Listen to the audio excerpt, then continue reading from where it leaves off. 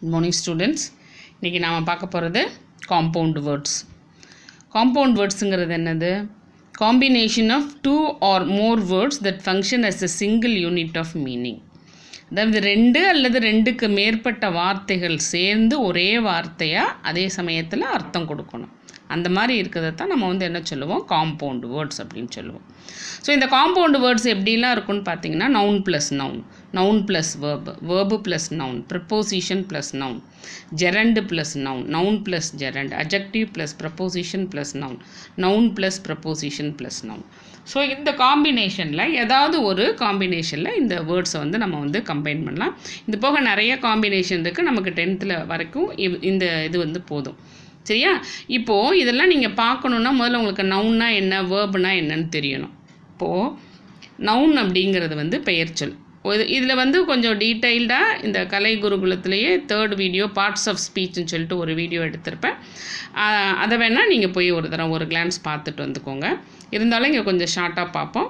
Noun அப்படிங்கிறது பெயர்ச்சொல் ஒரு மனிதனுக்கோ ஒரு பொருளுக்கோ ஏதோ ஒன்றுக்கு நம்ம பேர் சூட்டுவோம் இல்லையா? அதுதான் வந்து நவுன் அடுத்து வேர்ப் அப்படிங்கிறது ஆக்ஷன் வேர்டு இதை டூயிங் வேர்டுன்னு சொல்லுவாங்க வினைச்சொல்.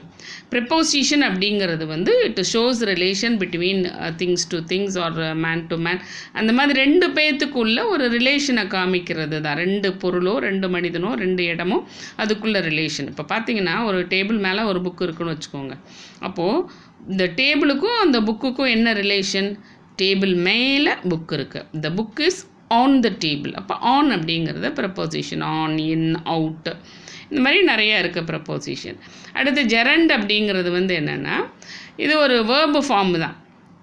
ஆனால் இந்த வேர்பு ஃபார்ம் வந்து ஐஎன்ஜி சேர்ந்துருக்கும்.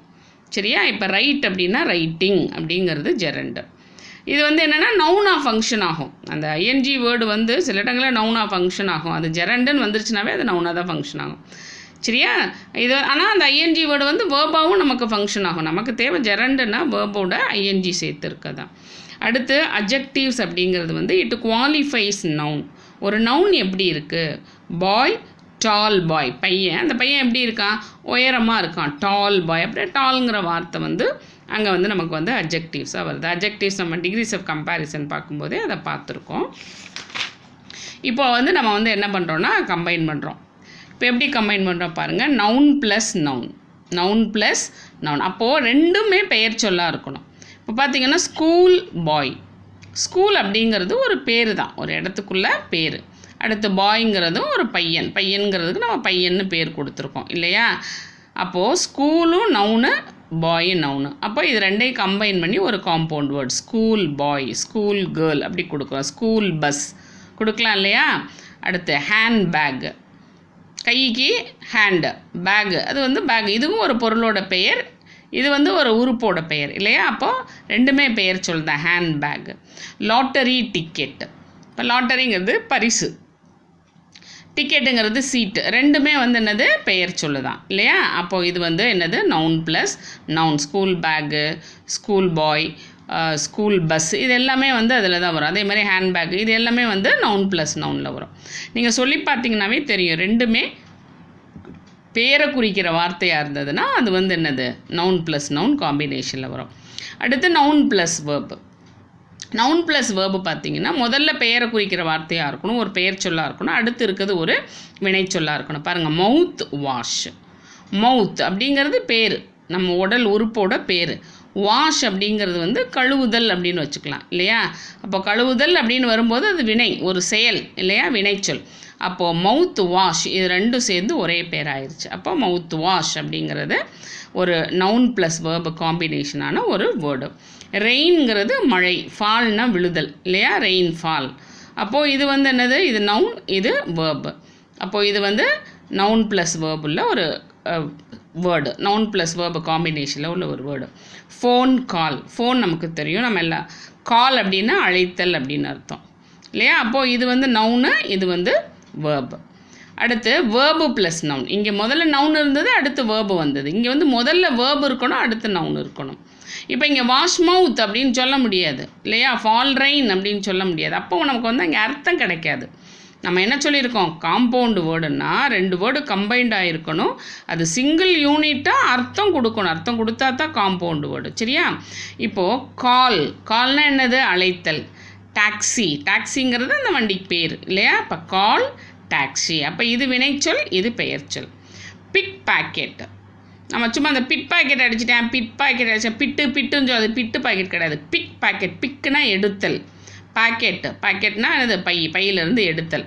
பிக் பாக்கெட் பிக்குனா இது வந்து வேர்பு இது வந்து என்னது? நவுனு அப்போ இது வந்து verb plus noun play ground ப்ளேன்னா என்னது? விளையாடுதல்.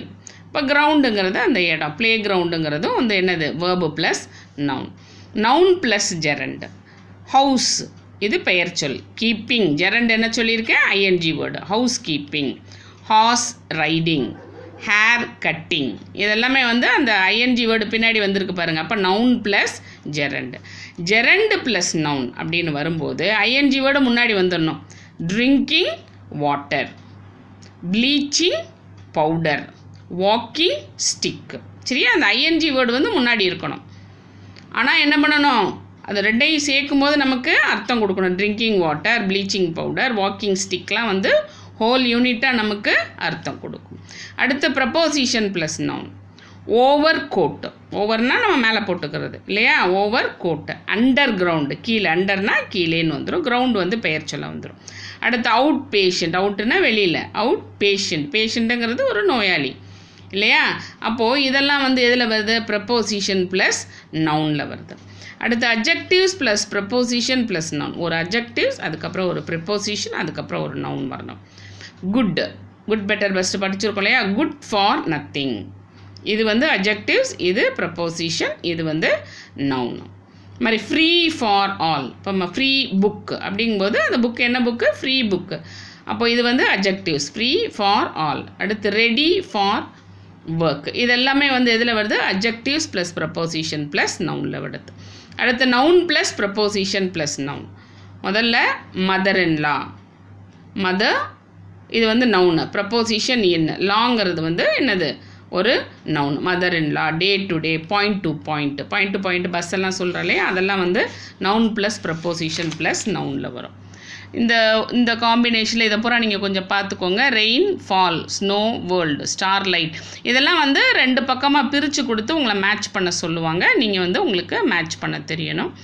கீழே வந்து ஒரு சின்ன எக்ஸசைஸ் கொடுத்துருக்கேன். இந்த எக்ஸசைஸில் வந்து ஒவ்வொன்றுக்கும் நீங்கள் ரெண்டு எக்ஸாம்பிள் எழுதணும். ரைட் டூ எக்ஸாம்பிள் ஃபார் ஈச்னு கொடுத்துருக்கேன் பாருங்கள் noun plus noun verb plus noun நான் வந்து இது இதே வரிசையில் தான் நான் வந்து கொடுத்துருப்பேன். எக்ஸாம்பிள் கொடுத்துருப்பேன். அந்த எக்ஸாம்பிள்லேருந்து ஒன்று எழுதணும். நீங்களாக ஒன்று உங்கள் சொந்தமாக நீங்கள் ஒன்று எழுதணும். சரியா? ஸோ இந்த இதை வந்து நீங்கள் எழுதி ட்ரை பண்ணி பாருங்கள் உங்களுக்கு ஏதாவது டவுட் இருந்ததுன்னா கேளுங்கள் ஸோ இது இதெல்லாமே வந்து உங்களோட டென்த்து புக்கில் இருக்குது நீங்கள் வந்து அதை உங்கள் புக்கை எடுத்து கூட இதை வந்து நீங்கள் வெரிஃபை பண்ணி பார்த்துக்கோங்க. Thank you so much